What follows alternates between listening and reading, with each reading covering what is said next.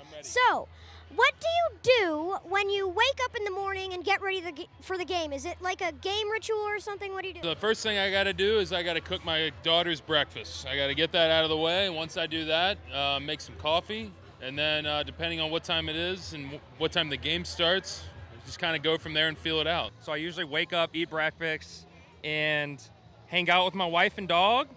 And I got a lot of family in town, so we've just kind of been hanging out before the games as of late. Just get some coffee and drink some hydration drinks to get fluid up.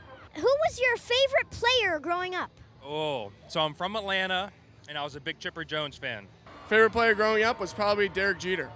Barry Larkin. Grew up right across the river. Barry Larkin was always my favorite player, number 11.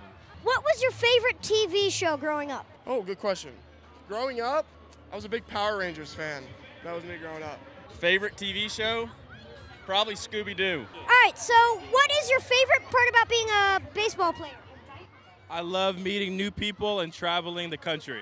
My favorite part about being a baseball player, honestly, is to you know inspire people. I want to inspire kids like your age to play this game and to have fun while playing this game.